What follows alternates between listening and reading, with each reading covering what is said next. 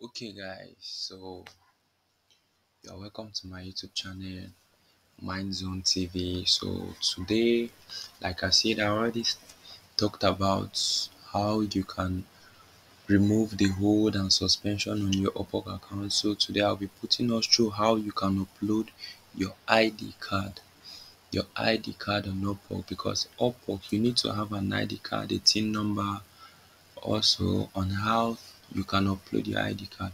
You can use a plastic id card a plastic nin your passport your driver license any of those will work. Because they also ask you for a video call a selfie also and all that. So without wasting much of our time let's head into the video. So i'll go to my search box on google and i'll just impute I've already copied the link. I'll just impute this www.upwork.com slash ab slash identity slash verification. So you can just hop onto this link and you click on enter.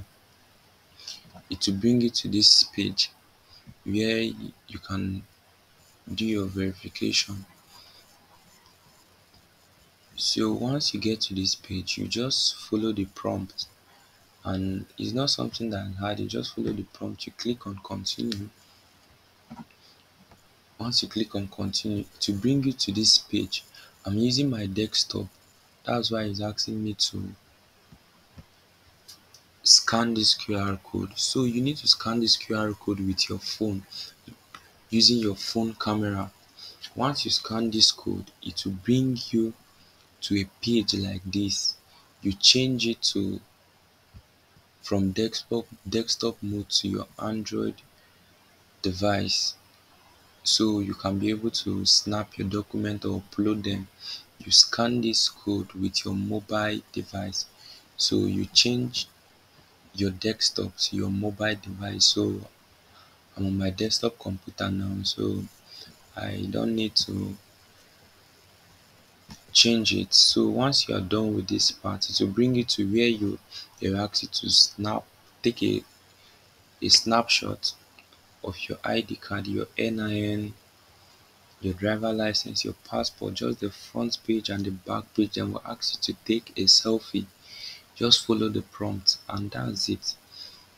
Your account will be verified.